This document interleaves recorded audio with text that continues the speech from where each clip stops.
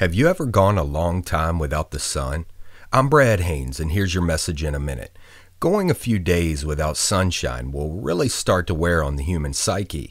It appears that most of us can handle about three or four days of gloomy, dark, bad weather. After about four days, we start to wilt. I think it's a lot like our spiritual lives. When we're going through trying times, usually it takes us about three or four days to see that we can't go it alone and we need some sun. When we finally do see the light, it is a feeling like no other. We have hope. Can you imagine how the people felt in the 400 years of silence between the Old and New Testament?